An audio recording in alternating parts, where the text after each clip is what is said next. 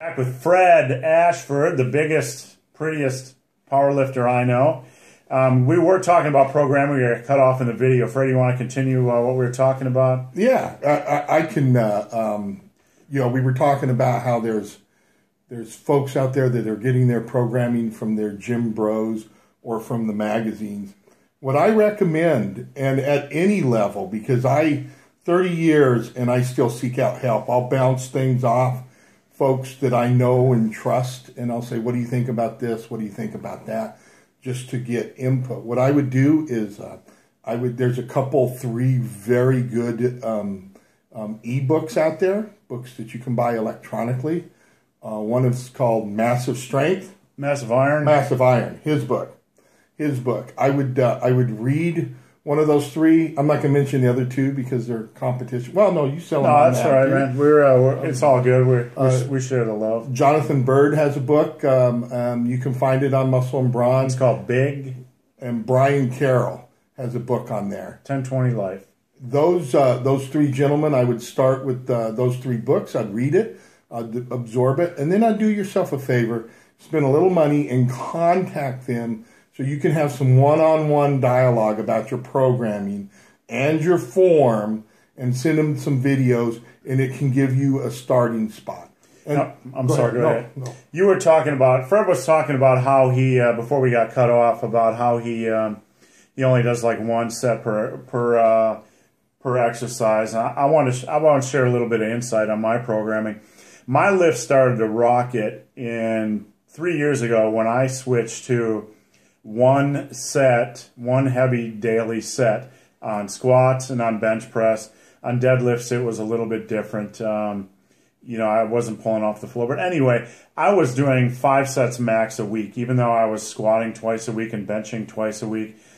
Um, I was doing a very a higher frequency, but a very low volume. Now, if you go on the net and you say and and you Google how to get strong and you read every major strength trainer, they're not going to have you train like me and Fred.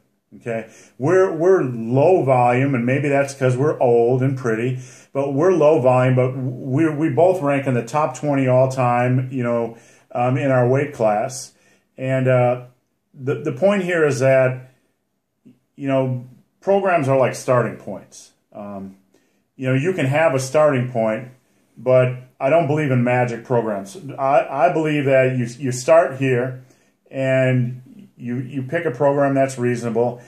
And over time, you got to start to listen to your body and evolve that training program based on your body. How important you feel that is, Fred? Oh, I, I think it's critical. You, I, I think that is the essence. You got to go back to um, what I was talking about and what you do with, with single heavy sets. The root of that is actually Arthur Jones, the guy that created Nautilus he um, sponsored a little power lifter called, or bodybuilder called Casey Viator. Uh, Mike Mentzer picked it up in heavy duty. Mike Mentzer trained Dorian Yates.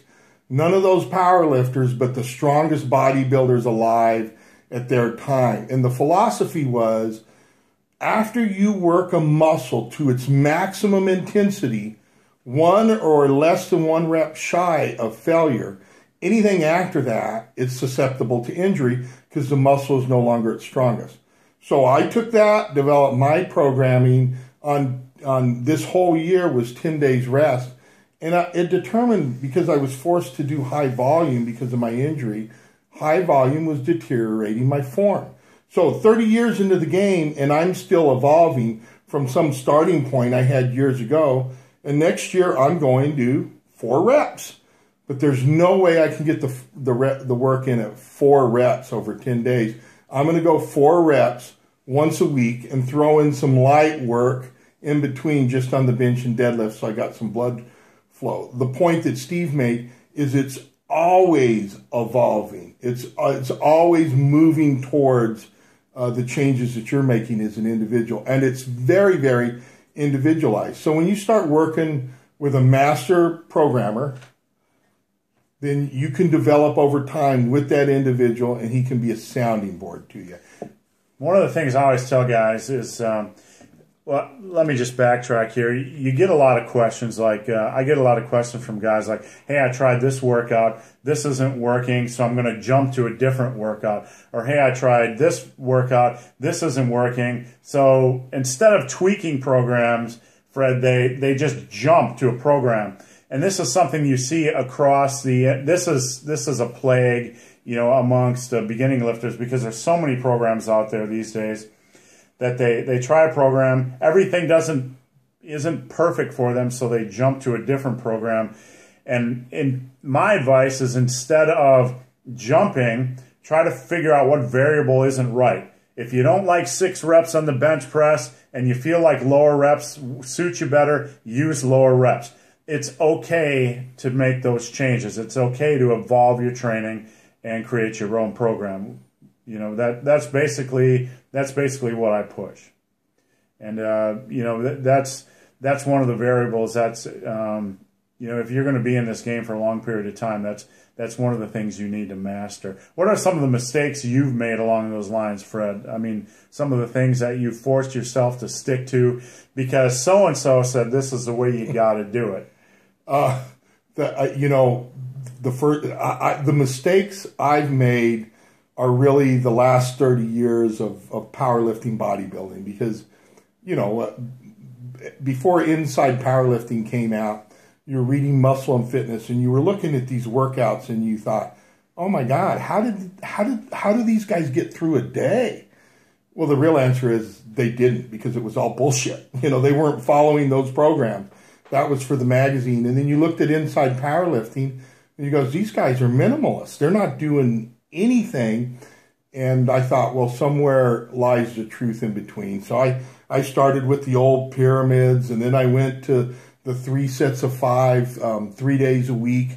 And I can remember I, I was mining, working underground, working shift work, and literally working out four days a week, um, working every every body part twice, very hard, multiple sets. Could finally couldn't drag myself out of bed. I wasn't getting enough sleep. I wasn't eating enough food and I wasn't training properly. And it was only until I started taking a step back and say, wait a second. It was a concept that took, it took me 15 years because uh, look at, we got thick skulls. It takes a long time to get through here. This concept, once I, once I embraced it, everything changed for me. And that is less is more. The less I did when I did it effectively with great form and kept evolving the form and consistent programming, staying consistent, eating well, progressing slowly, and realize it doesn't happen overnight. It finally started happening for me. So it only took 15 years. So hopefully it takes you guys like right now. Now I, uh, I, you know, I write a lot of workouts, um, you know, because I work in the industry. And there's one consistent thing I know eh, is that is if I put out a five day split with 25 sets per day, it's the most popular workout on the on the internet. If I tell guys three or two days a week, like John Christy, I'm not sure if you know who John Christy is, but John Christy is a guy that trained hundreds, maybe thousands of people on two days a week. Um, if you put out a more minimalistic program, it's not very popular. The, the point I'm not trying to make here is, is, simple. Sometimes I'm, you might be asking, hey, big ugly guy, why do you put out four to five day workouts? And sometimes if people need those to get them motivated and get their butts in the gym, it's, it's like giving them a starting point. You know, some people just won't do two or three days a week. Some people, you know, won't do a minimalistic type of workout. So I write workouts like that just to kind of get people motivated and get their butts into the habit and get them to the gym. But the point I'm trying to make here is if you're wondering where to start on programming, it's better to start on the more minimalistic side. Would you agree, Fred? You know, a little bit fewer sets, a little bit fewer days, rather than a little bit more. Well, you stay healthy. You know, first off, you stay healthy, you're recuperating more, and you can always add without the risk of uh, hurting yourself or setbacks in training. Right. You can always add if you're feeling good. Absolutely. Or if you feel it's needed. Yeah. And, uh, you know, there are sometimes, I don't know about you, Fred, but I was talking about this the other day. Um, you know, this, this might not make us the most popular guys on the internet, but I'm going to say it anyway. There are certain YouTube personalities these days that just push the concept of overtraining. You got to overtrain. You got to overtrain. You got to overtrain. And quite frankly, I believe that is a steaming load of horse crap. Um, but you know, it's pushing these kids to believe they have to overtrain to make progress. But you know, it's okay. I was saying this the other day. It's okay to go in the gym every now and then and do something crazy. Like one time last year, I did 500 deadlift reps for with 315 pounds just because some I wanted to see if I could do it and I felt good.